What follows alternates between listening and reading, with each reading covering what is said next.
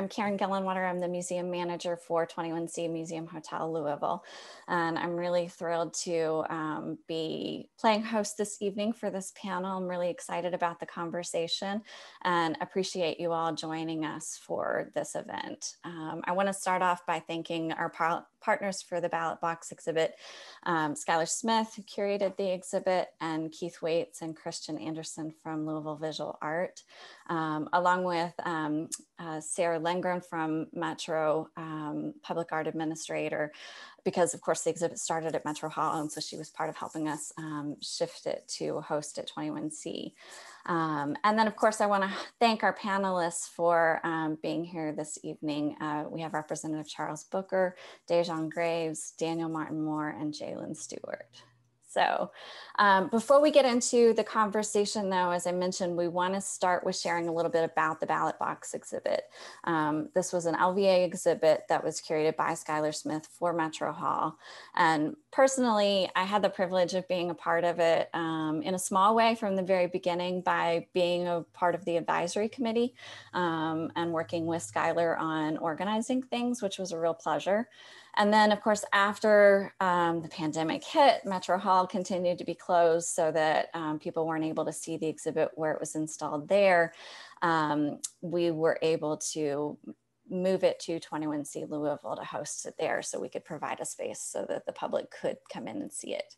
Um, and it's been there since the beginning of September. We've had um, quite a few people come through and you'll have a, few more weeks, um, another about six weeks really, to get in and see the exhibit if you haven't been there yet. Um, it's a really fabulous exhibit. Um, I really feel like there's a power in how the artists um, tell these personal and and communal stories through their works. And each of them really presents a very unique approach to sharing the importance of voting rights and the ways that the injustices um, within the system negatively impact all of us.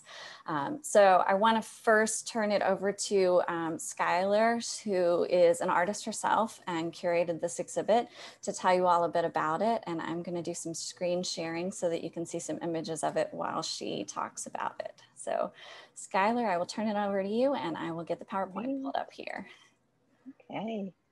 Uh, well, thank you so much, Karen. And, um, and I also want to thank um, Kentucky Foundation for Women and Louisville Visual Art and uh, Louisville Metro Public Art and 21C um, and Great Meadows Foundation. I mean, um, um, all these organizations and individuals at the organizations that have really helped make this um, exhibit possible. Thank you so much. Um, can you can you hear me okay? Is this good? Am I good? Okay.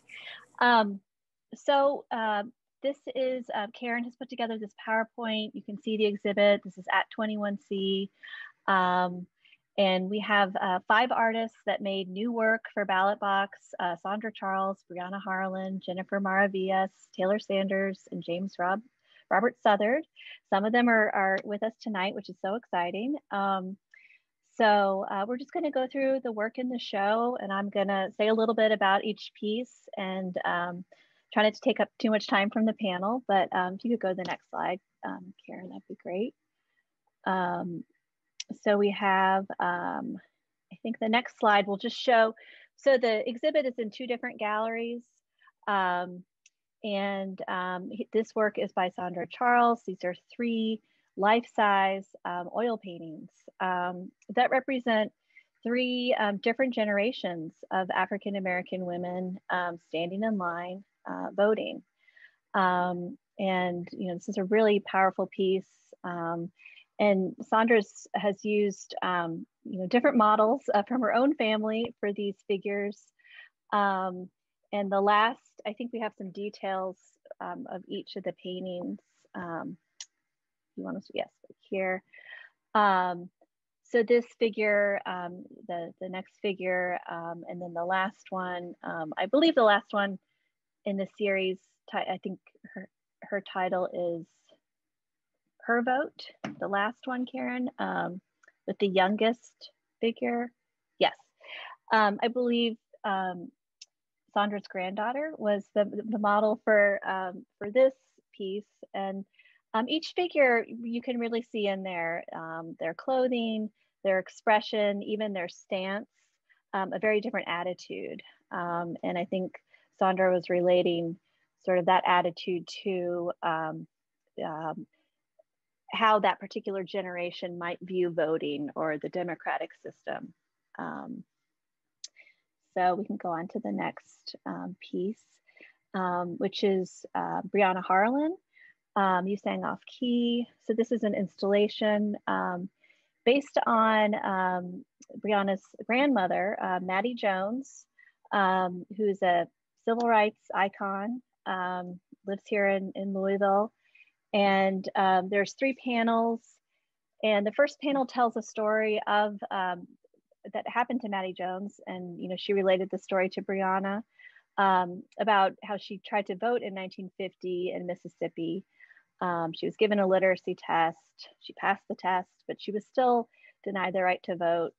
Um, and um, the panels kind of moved through. Um, so Mrs. Jones' portraits in the the panel in the middle, in the center, and then we have, um, you know, she went on to become a civil rights activist social justice activist. Um, and here we have a um, decommissioned ballot box, part of the installation, um, wrapped in old and new chains. Um, the ballot box is both, you know, closed and open, kind of showing the progress that we've made with voting rights, but there's still a lot of work to do and the vote is still not accessible um, for all. And then um, the next piece we have um, this is a large map. Um, I believe it's about four feet by 10 feet um, by the artist Jennifer Maravillas. This is called Party Line. And Jennifer has used um, different data sets um, to, and she's represented that data visually through color um, to show redistricting and gerrymandering throughout the United States um, in elections over the past 10 years. And there's actually a color code um, that's displayed next to this big map um, where you can see, you know, how she's translated this data into, um, you know, visual information. Um, you know, and this painting is, um, it kind of lures you in with the bright colors and the textures, and then you realize that you're learning about gerrymandering and, you know, these things that you know, um, are still occurring in our voting process. Um, so if you visit the exhibit, you can um, kind of decode the colors um, to learn more about that. Um, and then the next piece, I believe, is Taylor Sanders. So Taylor is the youngest artist in, in Ballot Box. I think she's 24. Might, I might not have that right, but um, Taylor created two uh, sculptures for Ballot Box. This one um, is based on the prison system in, in the United States and, and the fact that inmates are not um, allowed to vote, not given the right to vote. Um, and formerly incarcerated people are also um, often prevented from voting, even though they have served their time. So um, Taylor is, is, illustrating this with this kind of ghostly figure um, wearing an, an, inmate uniform um, with this sticker. I was denied the right to vote. Um, and, and Taylor made a lot of these stickers for this piece. And, and her idea was that people could take a sticker and, and put, wear the sticker and kind of, um, in a way, experience what it would be like to, to not have that right to vote. But due to COVID, we haven't been able to pass out the stickers, uh, but we, we have many more stickers made. Um, maybe we can share them in another way. Um, so Taylor created um, another piece, um, guessing game, um, and and this piece is very colorful. It's it's probably the brightest piece in the show. Um, but this is based on sort of like the party game of um, guessing how many gumballs are in a jar, um, which is an impossible test to pass. and Taylor is relating that that fun game to um, um, a literacy a literacy test, um, which is, was also by design an impossible thing to pass. Um, so um, taking taking those two ideas and, and, you know putting them up against each other in this piece. Um, I think Taylor's done a, a, really good job with um, sort of underscoring um, the, the dark history of literacy tests with this brightly colored um, party game, bringing those two things together. Um, and then we have, I think, the last piece in the show. Um, so this is a this is a still from a video um, by James Rob, Robert Southard, better seen than unheard. Um, so Rob, this is a two channel video. So if you go to 21C, you will see two monitors with these videos running, um, two different videos running simultaneously. And um, Rob collected um, um, footage from political campaigns I, from the past 100 years. Um, maybe he can, he can um, correct me if I'm wrong on that, but um, uh, and he has edited out the politicians in, in all of the videos. You can hear their voice, but you can't see who they are. And really, he was looking at the, the similar ways that politicians use imagery um, and you know similar themes, similar tropes, um, regardless of political party, to convince the public through media uh, to vote one way or another. Um, and we were able to get these videos on these public um, city post screens around downtown Louisville um, to kind of get the, the work beyond the walls of, of the gallery into the public space. And those were up for, for a little while. Um, um, they're no longer up, but, um, but yeah, please visit the exhibit so you can actually see these videos um, running. Um, oh, great. Thanks, Rob. Um, so that's just a taste of, of the exhibit. If you haven't seen it, I hope you're able to visit. It's open through March 14th. Um, and um, yeah, thank you so much. And thank you to all the artists. This is such a fabulous show, and I've been so lucky um, to work with each of them. Like I said, these are all original artworks that were created specifically for Ballot Box.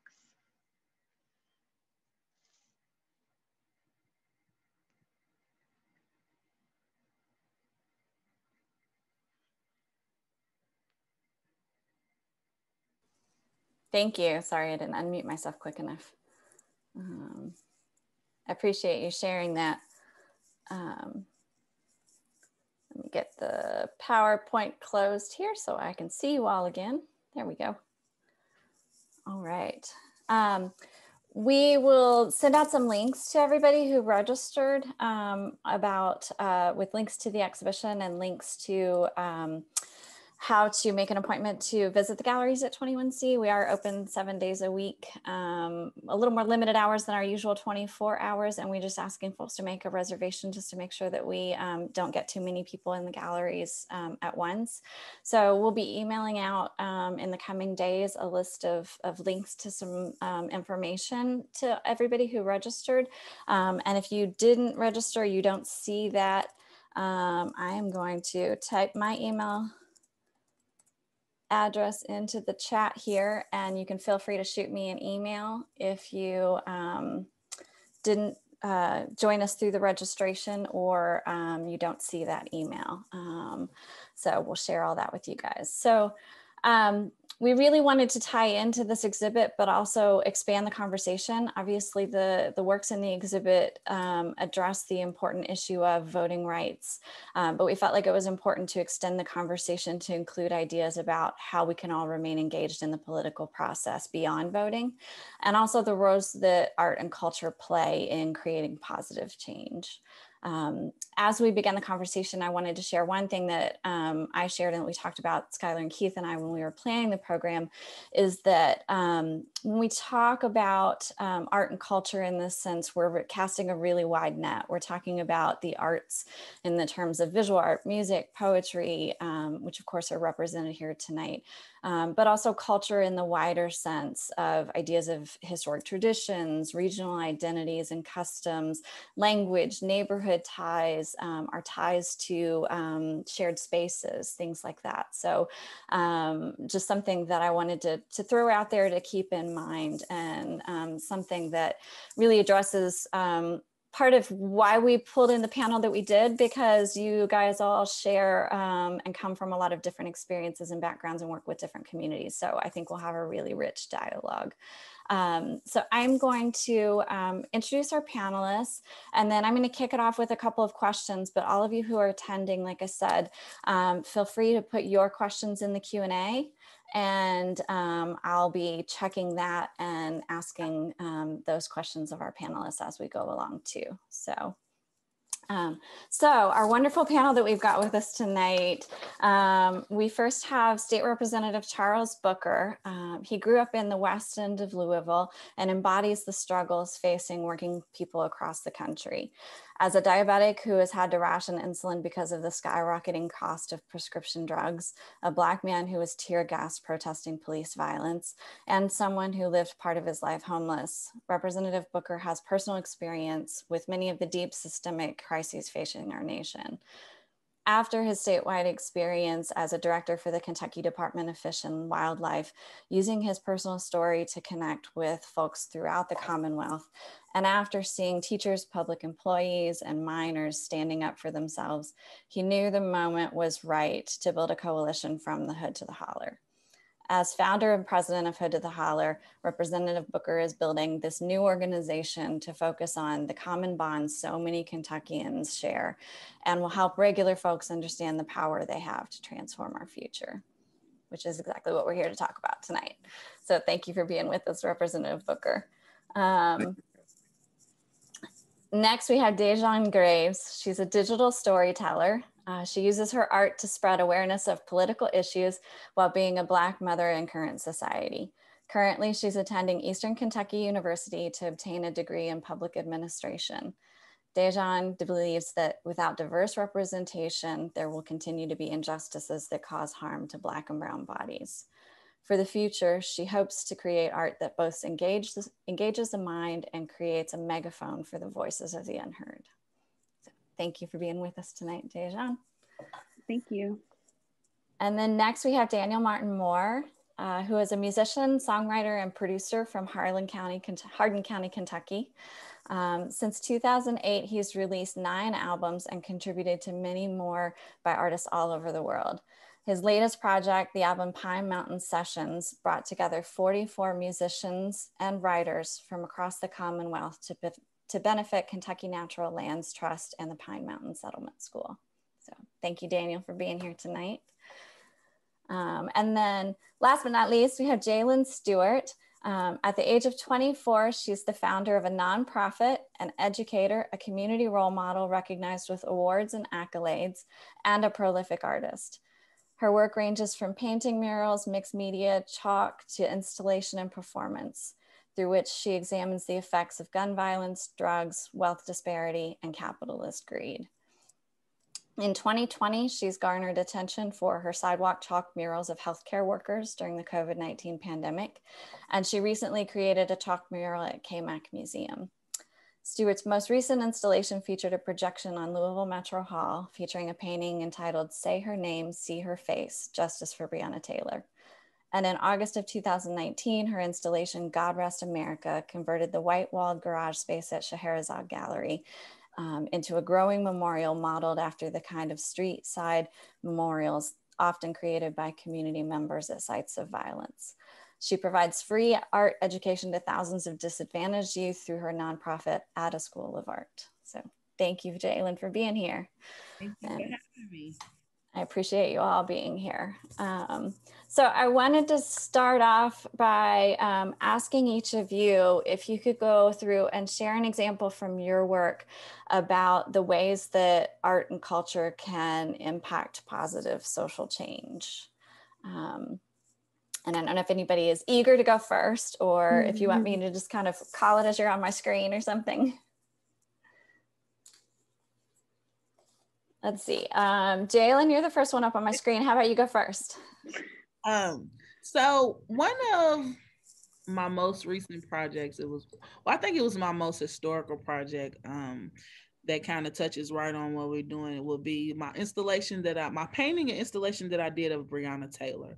Um, that was something I felt like that um, people all over the world um, could relate to or understand exactly what was going on. Um, you know, it talks about topics and different things, gun violence and just the injustice of the um, system, you know, in the United States.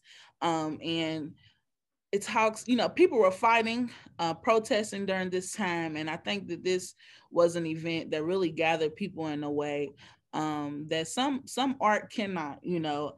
And um, I think that I was able to communicate to people all over the world with this piece. And um, so that's one. Sorry.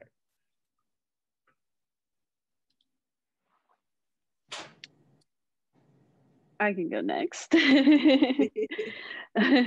um, so recently, uh, along the around the same time as Jaylin, um, I started making art around. Um, for example, one of the um, pictures that I edited said when he called for his mom, and y'all didn't expect us.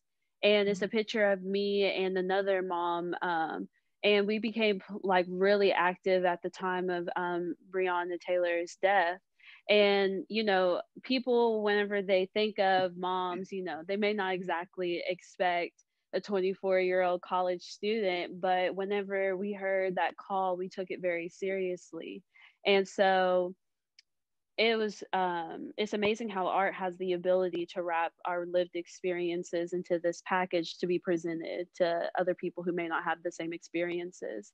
And I feel like that this summer, um, with a series of pictures that um, I was editing before I even started doing anything else, those alone were deeply rooted in our culture and um, were just on many layers trying to get people to think about who are who are our moms like that we're calling on. We always depend on our black women, especially. And so, yeah, those are thoughts I just was trying to incite and also like raise money for people who were protesting at the same time.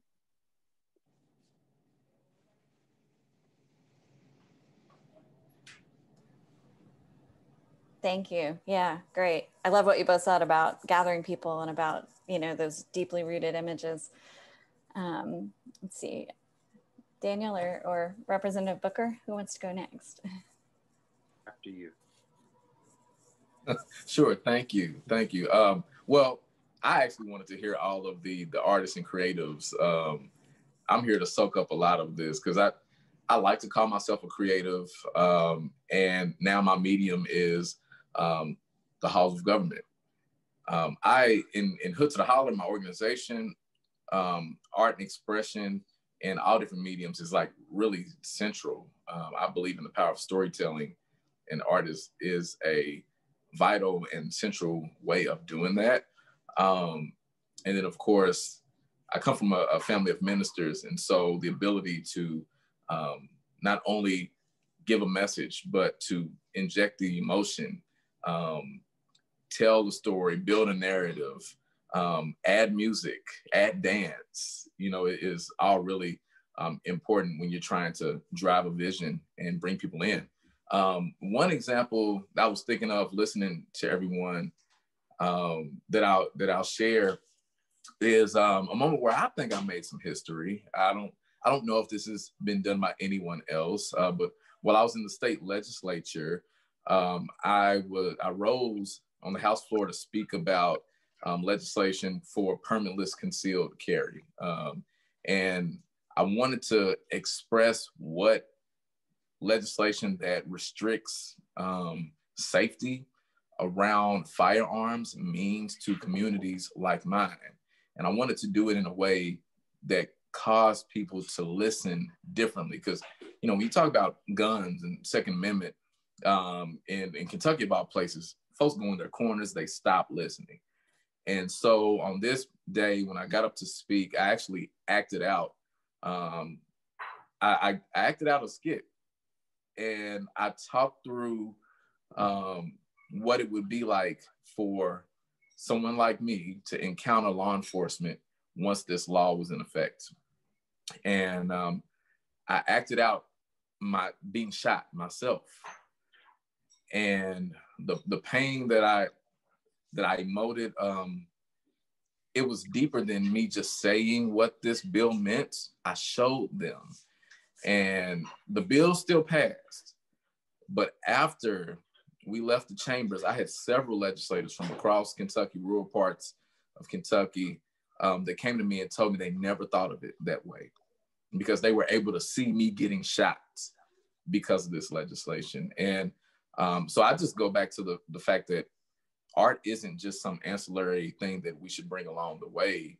It's center, it, it is integral to um, our, our push for change because it's the way we tell our stories, the way we express um, our feelings and our vision.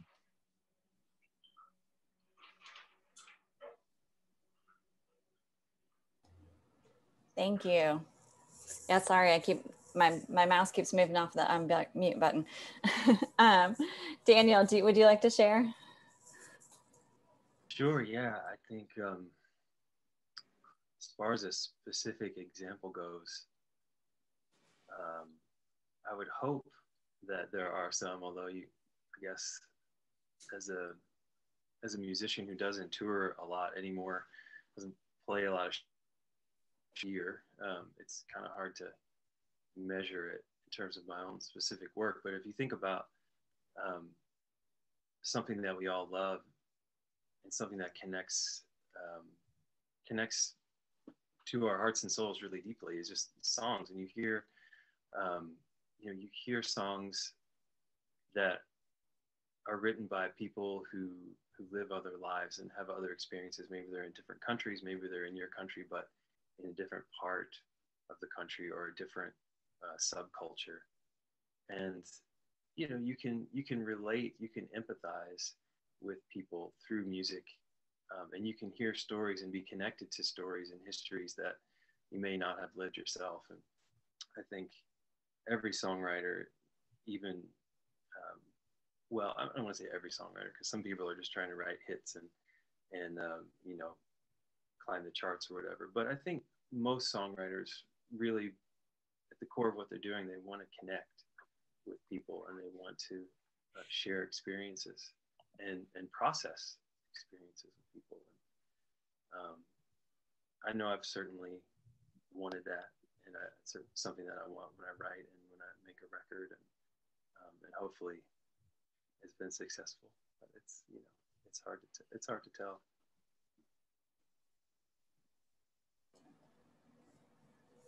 Thank you. Yeah, I think that's definitely true. And the, the threads are, are weaving between everything that, that you all are, are saying here. Um, somebody just posted in the, the Q&A here, um, just saying, Representative Booker, how wonderful to know that you use art as a tool to communicate your points. Very refreshing.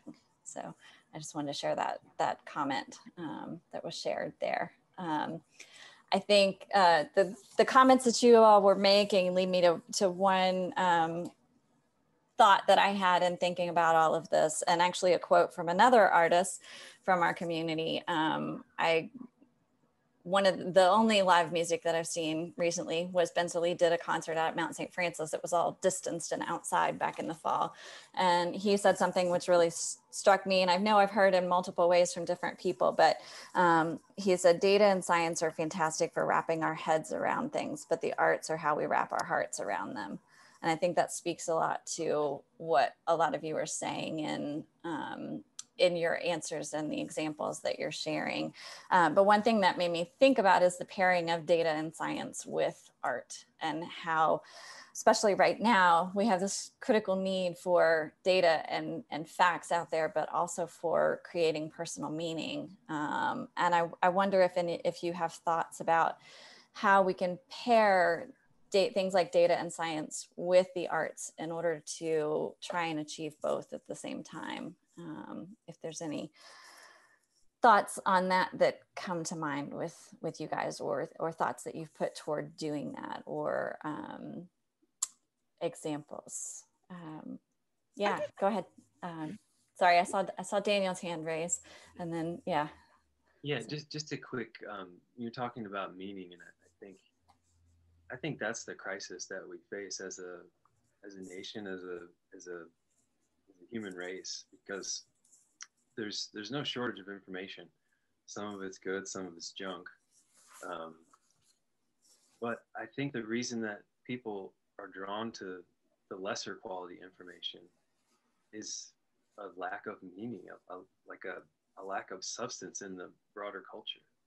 You know, if, if you don't have a strong sense of of who you are, where you are, why it's important to care about your neighbors, and why it's important to think about how what you're doing and how what other people are doing affects the community, affects everyone, every generation, then what do you have? I mean, we just like a bunch of consumers buying garbage nobody needs that's poisoning the rivers. You know, it's just, I think that the deep crisis that we face is, is a crisis of meaning and a crisis of, of connection um, more than a crisis of data. I mean, there's more data now than ever. You know, it's like, mm-hmm. um, you know, it's, it's almost, even the, even the stuff that's real, it's almost too much to handle. You know, like it's, um, a um, hundred years ago, you didn't know five minutes after there was an earthquake on the other side of the world that all kinds of people were suffering. But now you know that, and you know all the terrible things that happened on the, the other continent and the other city, and it's like you're just we're just sort of bombarded. It's like hard to find a way through the tragedy and the noise and, and to figure out what to focus on. You know, it's anyway. I, I think it's ultimately a crisis of meaning more than data. Yeah, that's a really great point. Yeah, I appreciate that. Jaylin, did you have something you wanted to share?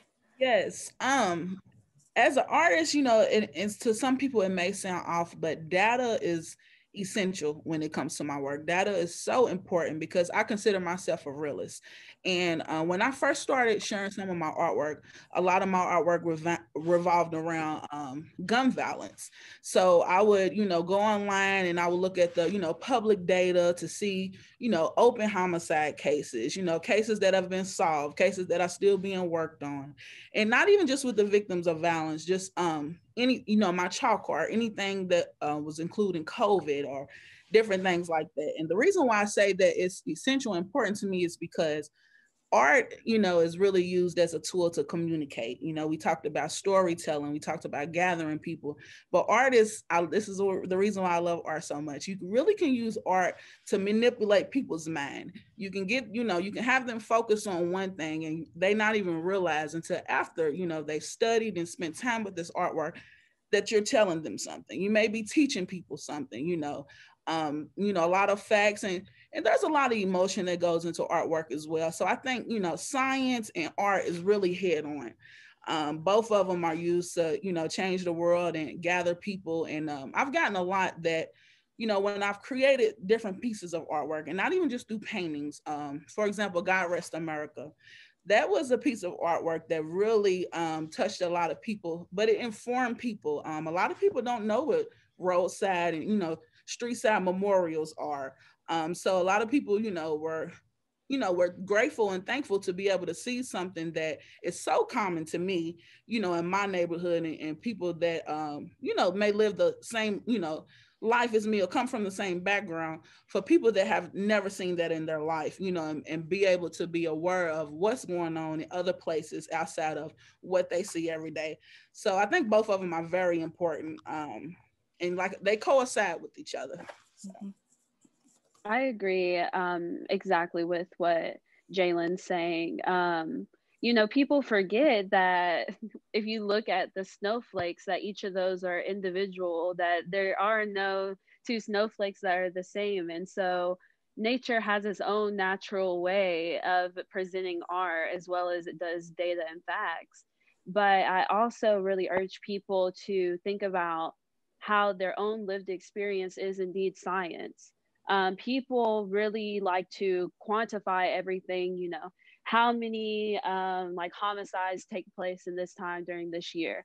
But um, as a women gender studies major, I was like really in in tune with bell hooks' work, where she really expresses that our lived ex- experience is as much science as what you could find in a science book but people just don't put our experiences out there the same way and i feel like that is where art kind of steps in art allows people to be able to ex- to share their lived experiences but to do so in a way that may not look like science it may not look like data and and like statistics and things like that but indeed that's what it is. So every day, whenever people are expressing themselves, to me, that's another aspect of science, and that's another aspect of art.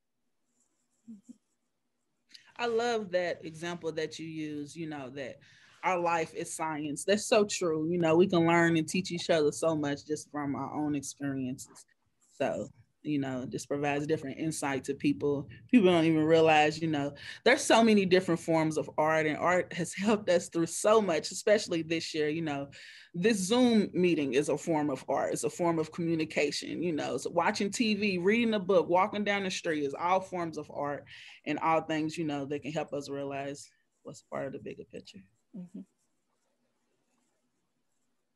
that is so true. I, I just want to add to um, what these incredible, brilliant creatives um, have um, shared, which I wholeheartedly believe. I mean, I, I feel like art is the way to bring science to life and and to light. Um, it's it's a way to capture an event, um, a number, a data point, an emotion, um, and and present it in a way that can be received um, and taken in from a lot of different access points. Um, and from my work, not only with Hood to the Holler and trying to tell stories about how we can come together across racial geographical divides, which needs a lot of creative energy to help people see it differently because we're used to seeing our divides and, and, and ingesting racism in a certain way, which means we have allowed these barriers to be built up and we're just used to them.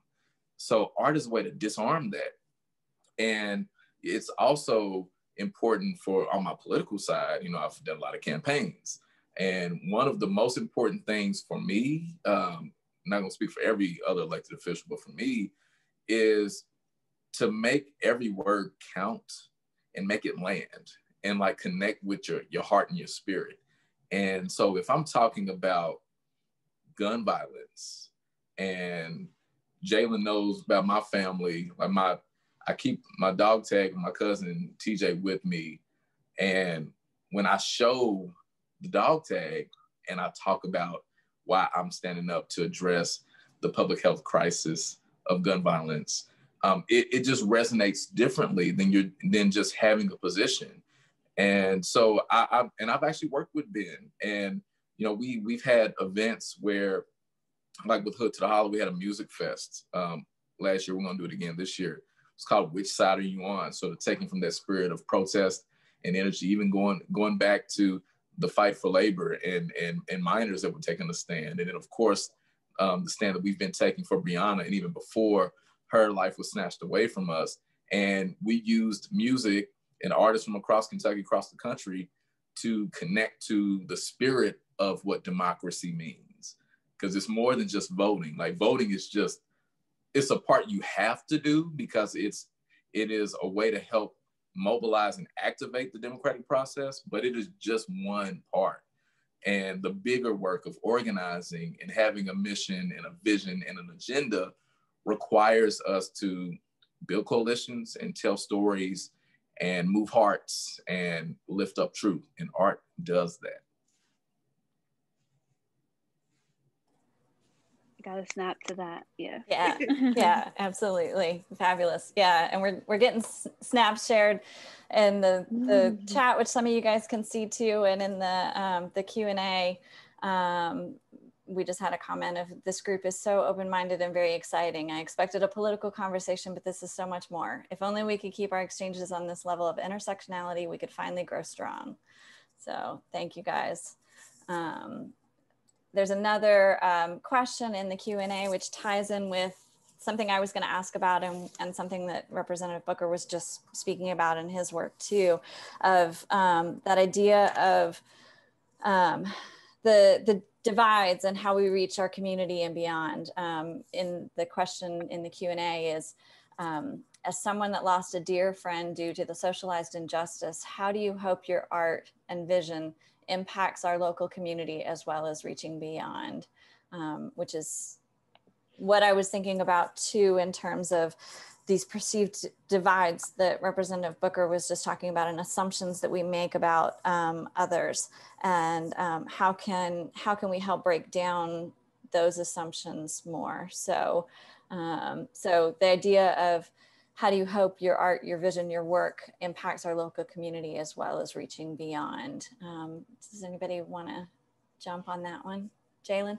Um, my art, I really hope that it um inspires people really to um take a stand and speak up for things and really things that they may have not been the you know bravest to do i also really you know i hope my work affects you know people and reaches people in a way um just to make them look at things a lot different um, and, and, be open um, to different situations, to different people, to different stories, to different lives, you know, to different backgrounds. Um, you know, when I first started my artwork and my mission, um, people would often ask me, why do you paint so many victims of violence? Why do you continue to do this? This is such a sad topic. This is such, you know, but this is something that people like, I don't want to say people like me, people all over the world deal with every day. Violence is everywhere.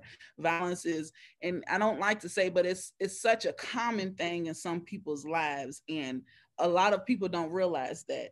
So when they see me painting these portraits over and over, I'm creating a legacy. You know, I'm making these people more than just a number. You know, this is not the 33rd homicide, you know, of the month or of the year. This is really honoring someone's life and and and telling a story that may not often be told you know and, and just that alone can really inspire and help a, a family, a, a grieving family, you know, communities and neighborhoods. So that's, that's some ways.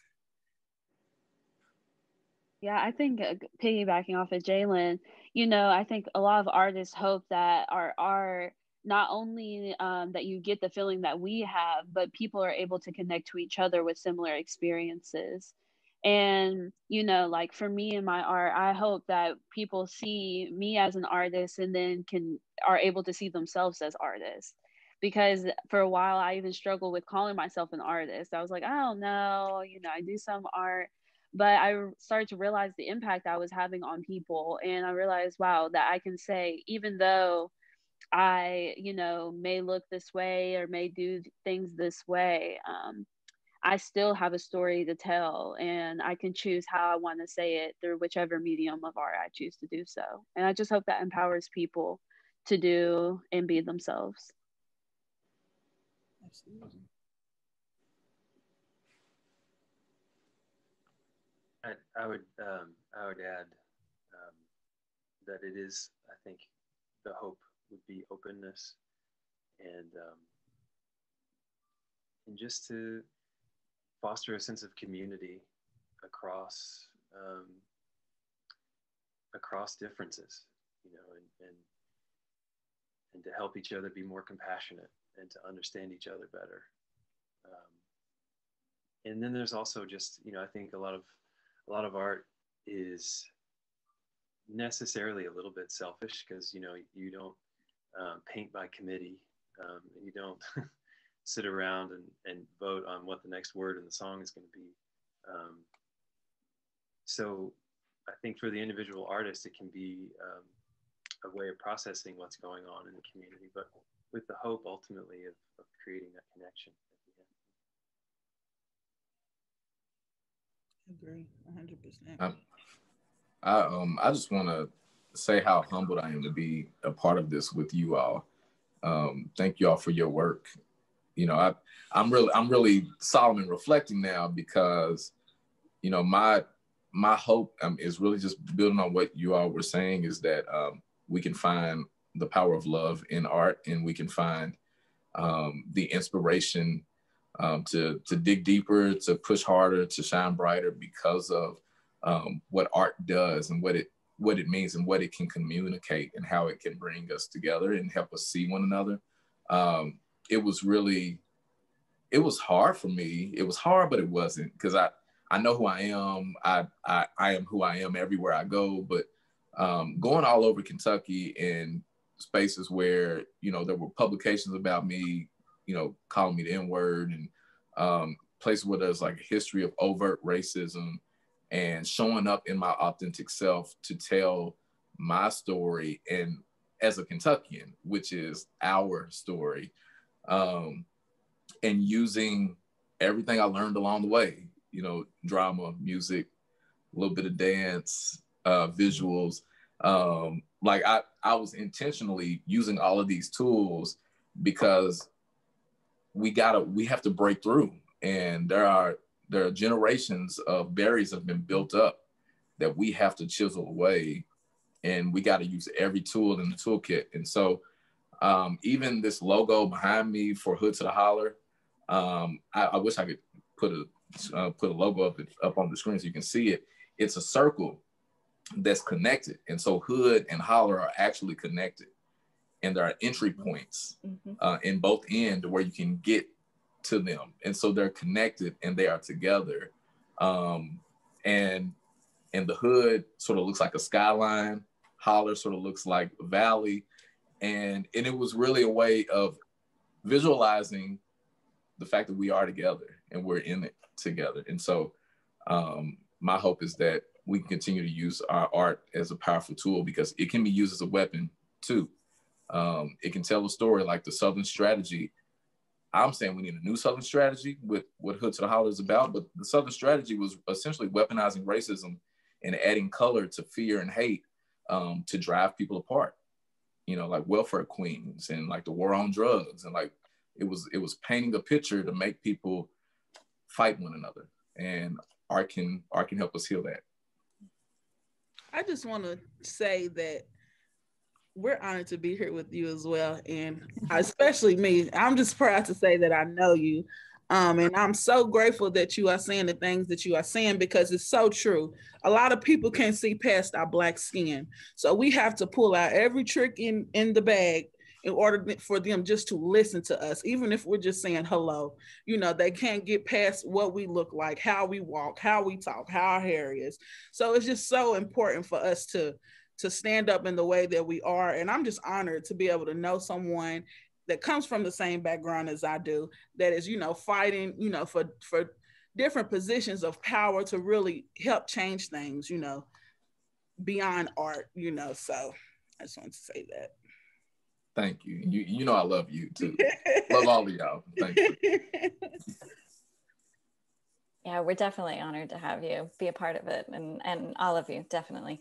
Um, it's um, a great conversation and i love the things that you all are saying and we're talking about of of entry points to to go in and um, you know those those assumptions came up a lot i feel like through the summer with um, the the protests that were happening in louisville and all over the, the state and not to mention national and international and how they how they went on. And and i know you know with hood to the holler working in all areas of the state um, and I know Daniel's involved with Kentucky Natural Lands Trust and and the the Pine Mountain Collective of artists that work down there in in Harlan County and and working to understand and hear each other and and come to that common um, understanding and, and and seeing where each other are coming from makes such a huge difference in in that. Um, I was just checking to see if there are other, I'm not seeing other questions in the Q&A, but all of you who are watching, feel free to, to put those in the, um, the Q&A. Um, there's a few, um, let's see, a few comments in the, the chat, which we can share wider too. Um, looks like just other, um, feedback. Um, so I wanted to to get back to um, the other portion of um, what we were talking about with the event of the idea of staying involved with the political process. Um, and I know we've talked about that sort of in an abstract um, you know sense and talking about the arts involvement with that. But um, are there ways either through your art and and your work and um, you know your organizing um, that you specifically work to stay involved with that process or suggestions and advice that you want to share with um, the attendees that we have here for um, how we can stay involved with um, the political process beyond voting. I love what you said, Representative Booker, about um, you know voting being the must do, the you know the I wrote down how you fit mobilizing and activating the democratic process. But I think we need to mobilize and activate um, in the rest of the year too, um, not just through you know seeing the campaigning, seeing you know deciding how we're going to vote. So um, I don't know if you all would like to to speak about that idea of engaging with the political process, um, whether it's pulling in art and culture or not. I mean, it's naturally a part of everything, I think. But so, um, I would. Um, I would really encourage people to get informed about, you know, what does government even mean? Because a lot of times people think of the federal government with uh, neglect to the state or even local government that's happening every day. Um, it wasn't until I decided to get my master's randomly in public administration that I realized how important it was to be involved in our local government. So, for example, right now um, I'm interning with uh, the Catholic Action Center, and I'm literally every day watching eviction court. Um, just to hear um, how people are judging, um, how judges are judging, what people are having to go through in order to get resources that they need, uh, and broadcasting the resources out in Fayette County.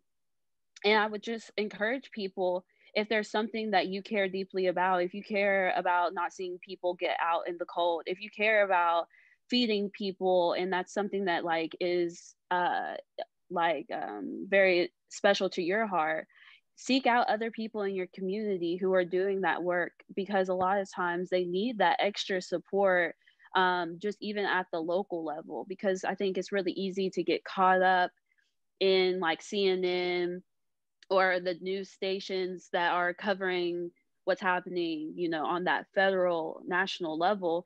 But there's things that are happening here that uh, working at food banks just volunteering and giving your time and a lot of things are on zoom now. So you know we're all at home anyway so, you know, go attend court and just watch and see what's happening and see how people are, what people are having to go through to just stay in their house. To me, it's very humbling. And it also gets me fired up to be like, okay, so what can I do to help make sure that people are staying in their house? What can I do to help make sure people have food? What can I do to make sure that people are getting the health care that they need?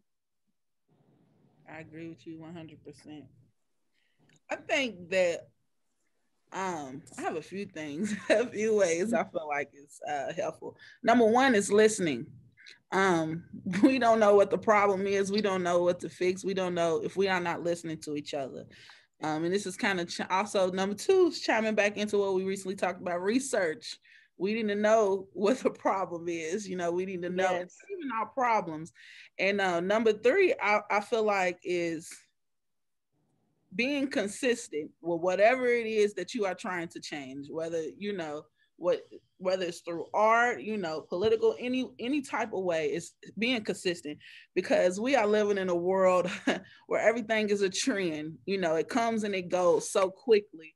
But when it comes to such heavy topics and, and things that deal with people's everyday lives, we we don't have a lot of people that we feel like is is fighting continuous continuously. And when we see people give up it's almost like you give up on everything. And that just becomes a natural and common thing to do because nobody else is fighting for it. Nobody they stop you know I, why should i keep going?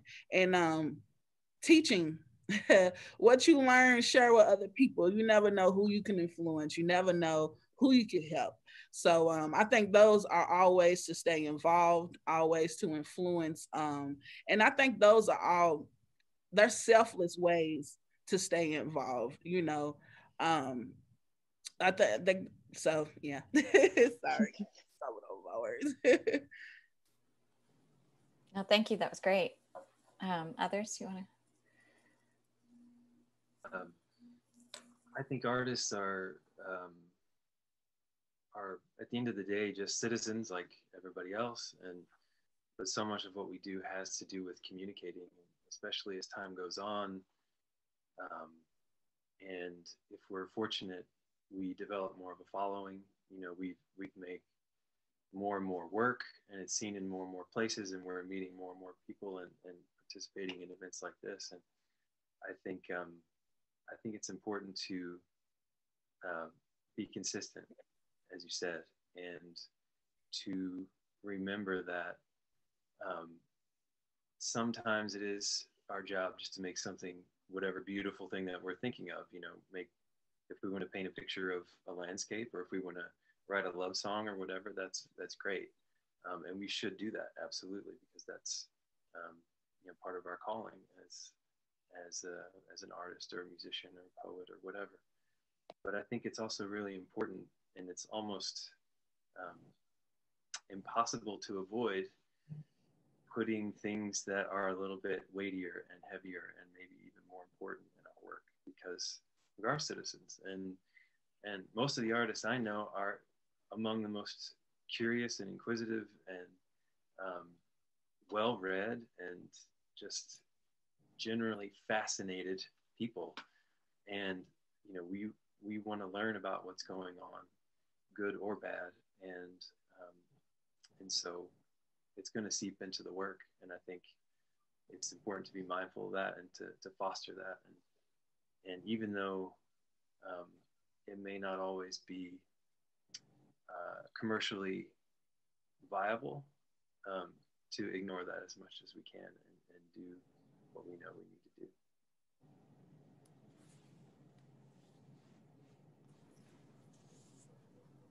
Good points. Thank you. All right. Uh, uh, well, you, you, know, I you know I have a lot about getting politically involved. it's like y'all. Let's have this conversation, shall we? Um, I, what what I mentioned earlier um, when I was talking about voting, like we have to vote um, because like that's that's like the starting point, and and, and in a lot of ways um, a way to capture the end point. Um, but the truth that we all know um, in a lot of cases, we are voting to minimize the harm and not necessarily to um, advance the, the dramatic structural change that we need. And and I want to be very clear. For me, we need system level change. Like it, and and for me, that means pulling up the roots of racism. It means ending poverty. And and I think I know that won't happen without art. We won't get there without art because we art is the vehicle. Like it's it's the it's the convener, um, it's the storyteller, it's it's the data sharer. It you know it's it's all of that. Um, listening to to these creatives, which I, I love sort of going last, I get to listen to everybody, is there were a couple of words that sort of bubbled up for me outside of voting, as far as if you're looking for ways to stay involved as creative, as a citizen, as a human being. Um, first, I'll plug Hood to the Holler. I really hope y'all connect with me, all the creatives, because like I said, we have to go at the heart of what is holding Kentucky back and our country back um, in more ways than just having a point and being right about it.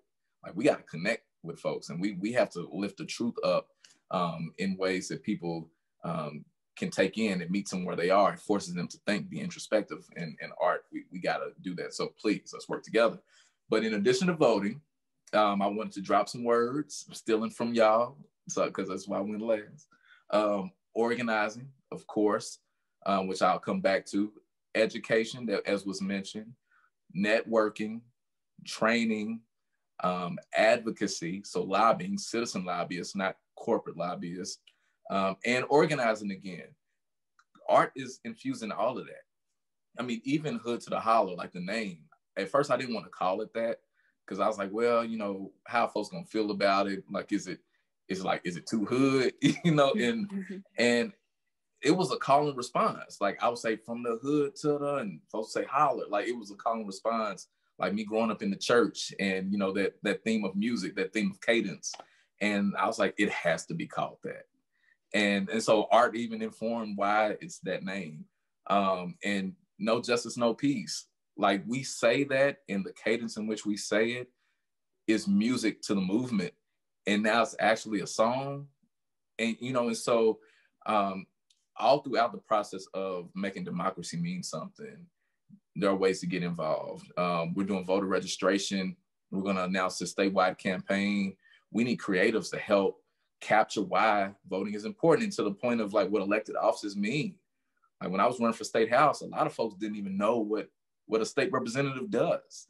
And what does that role do to perpetuate and or end poverty and we have to creatively tell folks and show folks and bring them into why their power in in uh, effecting that office is so important. So, um, go to the holler.org. Uh, we're doing organizer trainings. We're doing political trainings for folks who want to run for office, boards and commissions. And I am especially um, asking all creatives. I hope Brianna's on here. She's so dope. If she is, I'm giving her some love. Um, to to connect with me as well, so that we can lift up your work nationally and in other ways. Because, um, I said, that's the key. Thank you all. Um, I want to share a couple of comments, and we've got a couple of questions in the in the Q and A. Um, comments about the um, the idea of local um, that several of you raised. Um, and I think this was when Dayzaughn was speaking, somebody commented that she's exactly on point. Local elected officials affect everything we do. We need to watch and hold them accountable.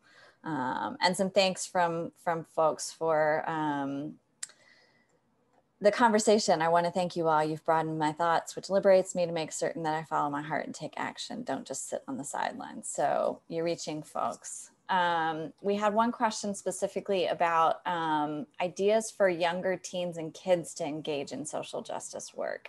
Um, does anybody want to to speak to that? You got ideas? Um, I work with a lot of kids, and I think ways for to and I, I don't like to say this, but keep them involved. It's our job, it's our duty to make sure that they are involved because they are still kids, because they are still teenagers. Um, but not just really put the pressure on them. I'm I'm a I'm real big on listening. You know, in order to be a good leader, you have to be a good listener. So I think we need to listen to our youth and listen to our teenagers and really find out what it is that they want, what it is that they need in order to get to where it is that we are in our minds, you know, um, to help and get involved. So, um, but there's there's many many different ways. Of course, there's always programming and different things like that. You know, having them tune in on a conversation just like this is a way for them to be involved. And they and I'm not they don't have to go out, you know, on the front lines of protesting, you know, and, and do things like that. If they want to, it's, it's perfect. But there's so many other creative ways um, to get them involved. And I, I think those are just, you know, a few. Yeah, I think um, I'm a big sister to nine little little people, and uh, what I've like noticed the most is like we have to answer their questions. Mm-hmm. Whenever they have questions, and it may seem absurd that they're asking this question that came out of their little kid brain or whatever, but you just have to take time to answer it because you never know what that's gonna like act as like a little flicker that turns into a flaming fire for them that will like stir up their creativity whenever they get that answer. So i think whenever you a listen and then answer the questions that come along from listening and then tell them to be creative and do what they want with the information process it how you need to process it and get back with me you know. Let's hold our kids accountable like you know listen to it listen to me i need to know you're listening because i work with kids too. I'm like i need to know you're listening so what did i say? And bring it back to me the way that you want to not like in the form of an, of an essay or something. But if you want to make a little rap to it you know go ahead. I'll listen. I'll i'll clap my hands at the end. But i think we just got to be open to however they want to present themselves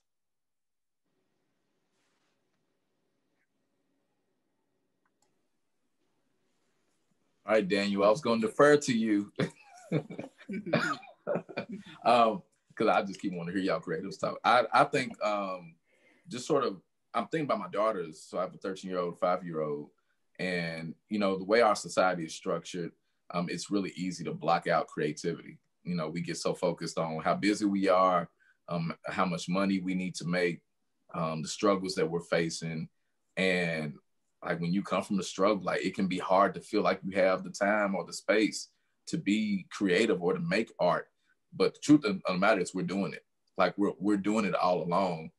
Um, I'm even thinking personally, but there were times I didn't feel like I had the agency or or that it was actually art.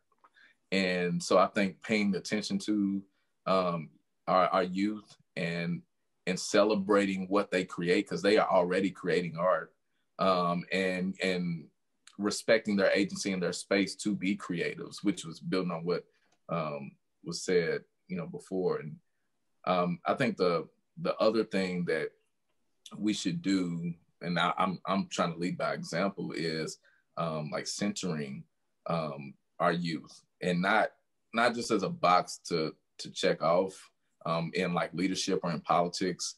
You know, people say, well, we need to have young people involved, but they don't really mean it. Um, we have the opportunity, particularly through creativity, um, to to center young voices um, in a way that is impactful and elevates them. Like I think about the inauguration with um, Amanda Gorman, I believe it's her last name. Like she was the inauguration. She was the inauguration. I mean, there. I mean, now there was some barriers being broken. First woman, um, Black Asian American. Amanda was the inauguration, and it was her being able to capture the whole spirit and history of where this nation is and put it in everybody's face. That let me know, okay, we're going to, we'll be all right. We got a lot of work to do, but we'll be okay. And so, centering uh, youth voices. Mm-hmm. um, kind of a related, potentially. Um, or Daniel, did you have anything you wanted to jump in there?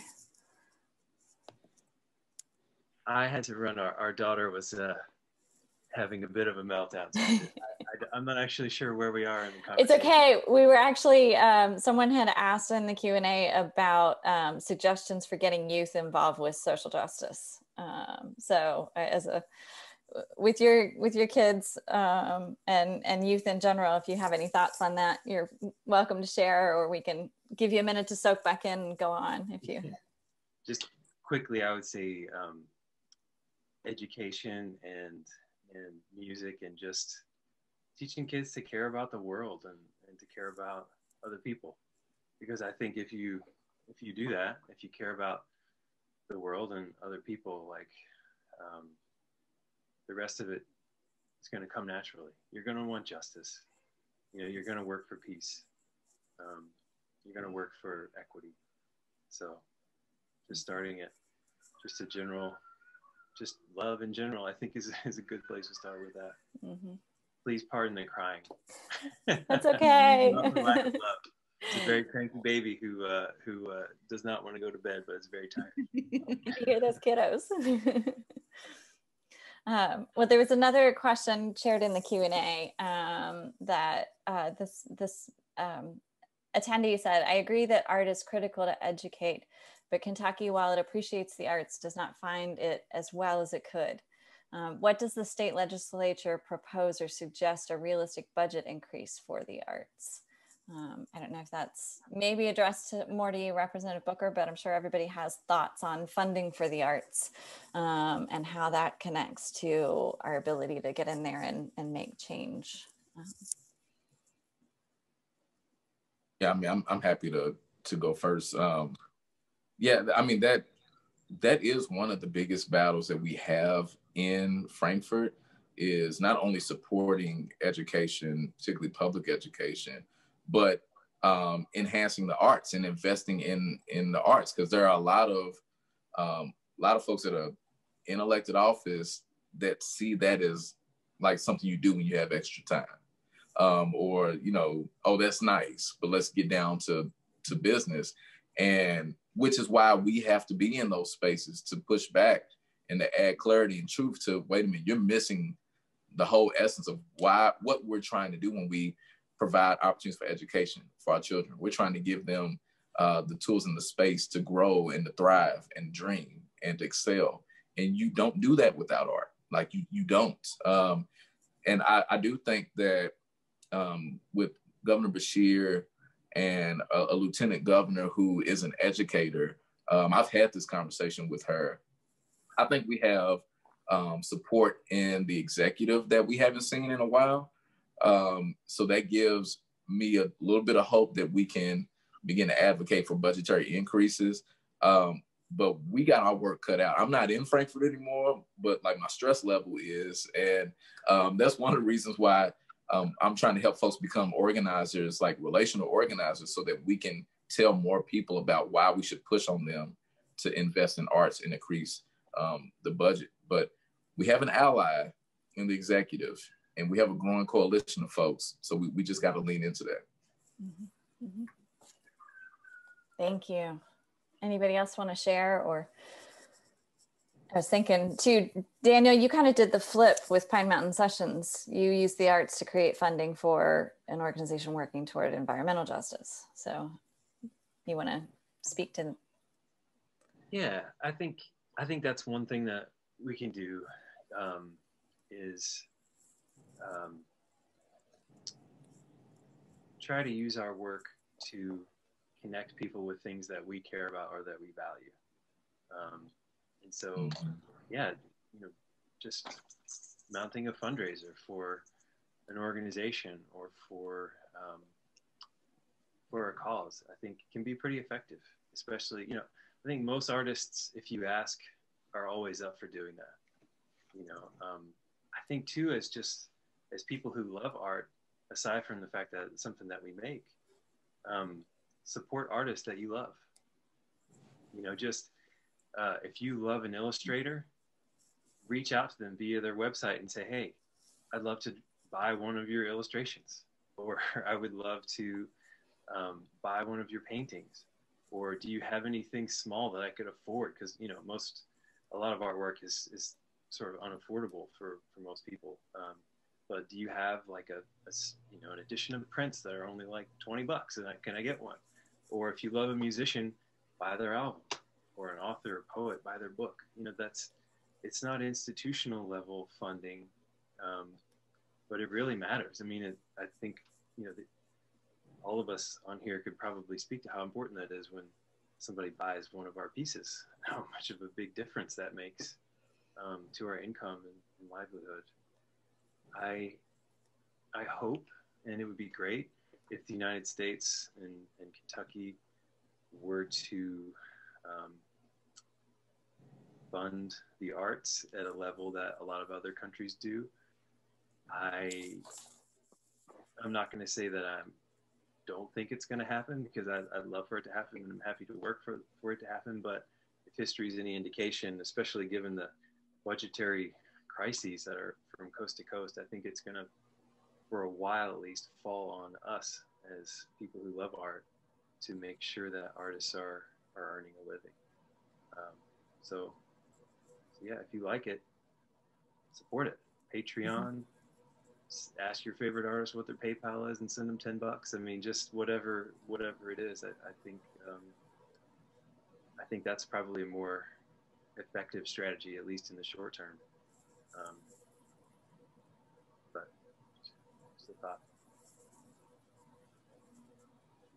And lastly, like piggybacking off of that, just like you would tell your artists that you care about art, I think it's um, really important to also tell your legislation the things that you care about to seek out your representatives and let them know like I care about art and if you're representing me I feel like that you should know that. And whenever you just like look up your representatives on Google it's very easy to contact them. You can like do anything from send them letters write them emails just call leave a message and just tell them what you think is important because even though you may seem like it does it may seem like it doesn't make an impact at least you know that your voice got out there. Mm-hmm.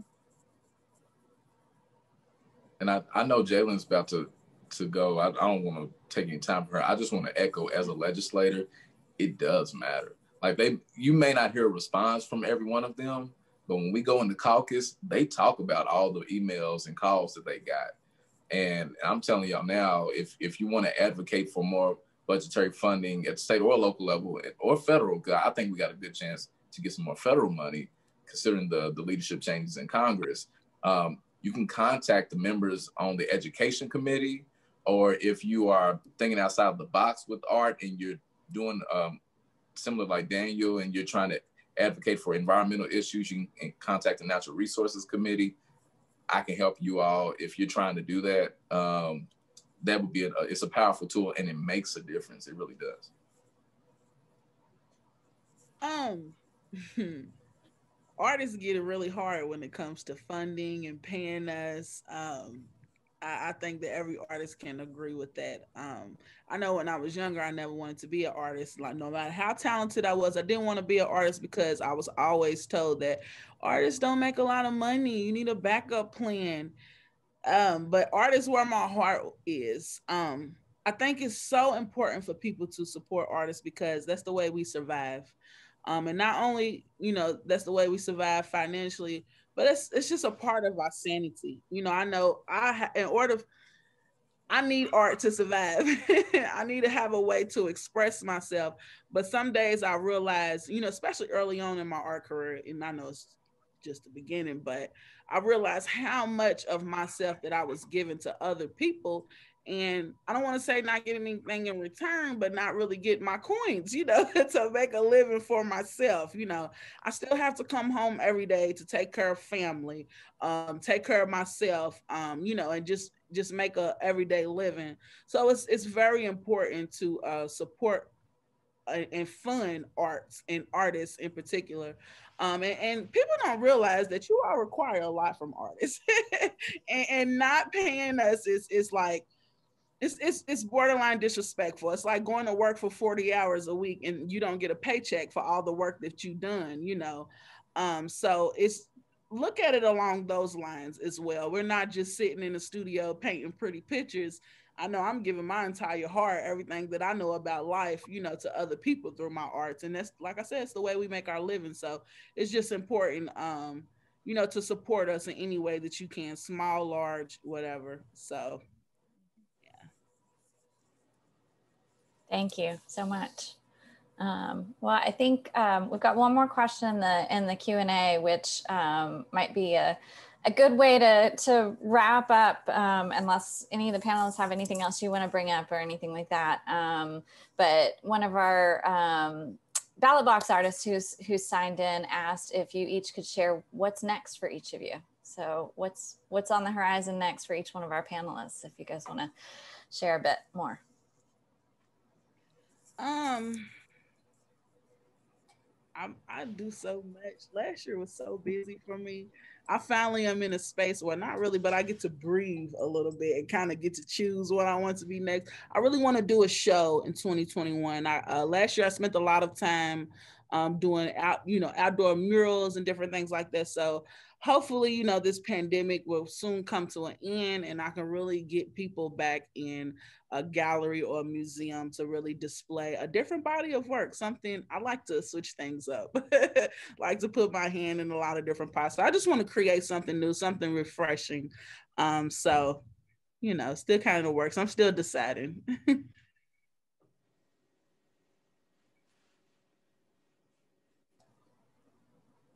I understand.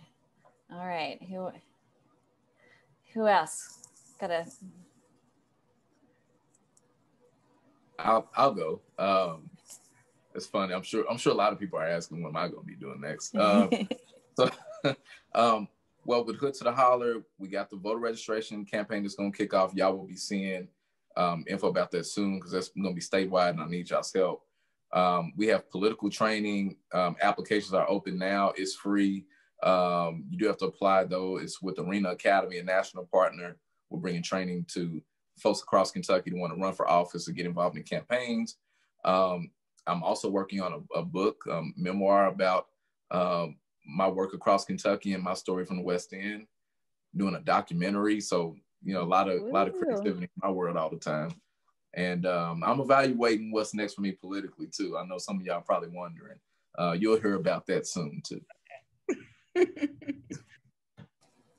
Everybody will be on the edge of their seats. All right. Uh, Dayzaughn, do you have anything you want to share? Oh my gosh, about my next steps. Oh my goodness. I I was like, no, let me go last. Um no.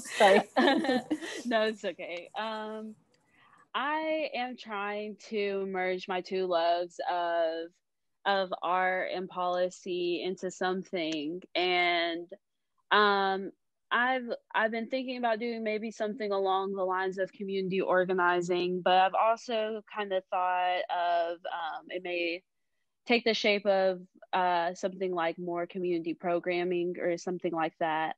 Uh, I really don't know what I'm doing. I just dabble in so many different things, and I'm just allowing God to use me. And wherever the, them steps may take, they will take me to where I need to go. I'm sure.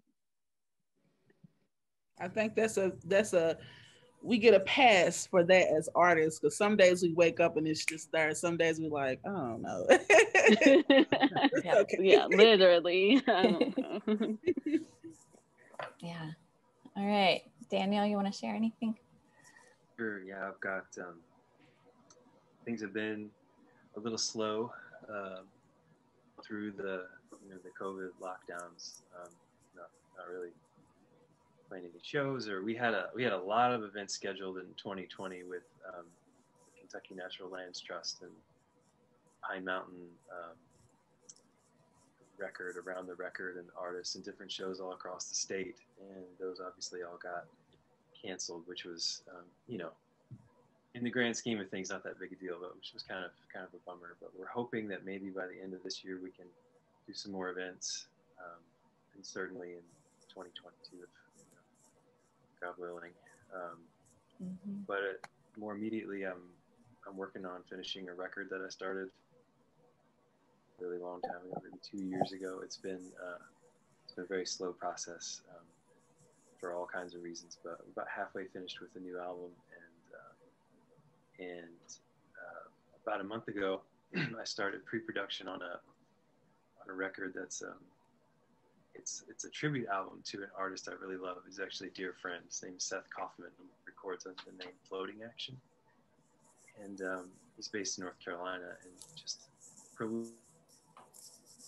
most beautiful records, really fun, great songs, great music, um, and a wonderful musician. And so I'm in the process of kind of bringing together a bunch of different artists who he's worked with in the past and friends of his to to make a, tribute to his music and his songwriting. That's been that's been a lot of fun. I've, that's been uh, it's been great to connect with folks and get back. If you're not familiar with his work, um, Floating Action is the name of the band, and uh, it's uh, it's good stuff. Nice. Well, thank you. I'm sure everybody's going to be watching to see what um, you guys do next. This has been a really fabulous conversation. Um, I want to thank all of our panelists for spending the evening with us and um, everybody who joined in um, online to, to participate too. Um, and of course, Skylar and Keith and Kristen from LVA, it's been great to partner with you all and be able to, to host Ballot Box at, at 21C.